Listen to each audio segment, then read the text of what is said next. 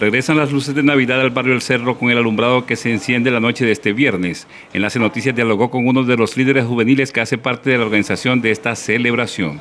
Lo que pasa es que hace eh, aproximadamente 20 años era una es una tradición la que se lleva aquí a cabo en el barrio El Cerro del tema de alumbrar las cuadras y alumbrar la avenida.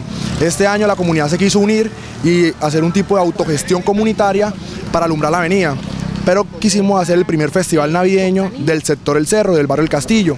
Este, el día de hoy, el 30 de noviembre, vamos a hacer la apertura del alumbrado navideño y la, y la llegada de diciembre. Entonces están todos cordialmente invitados a que nos acompañen en este día tan importante para nosotros. Con artistas locales en presentaciones cada noche será amenizada esta actividad. Eh, es un, hoy arranca, pero la, la idea es que haya varias actividades en el transcurso del mes como, como tal, este, queremos el 7, el 7 de diciembre, el 8 de diciembre va a haber una velatón donde toda la comunidad va a arrancarme a que se acerque ese día pueda colocar una vela por la paz de la ciudad. Sí, claro, va a haber un PCR de tamaño normal, tamaño real, que estará abierto al público a partir del 7 de diciembre. Invito a toda la comunidad a que se acerque al, barrio El Cerro, especialmente al, sector del Parque Tapias, para que vivan esta, esta la fecha que es la Navidad. Se espera que la ciudadanía acuda de nuevo a la Comuna 4, barrio El Castillo, Parque Tapias, a esta festividad de fin de año.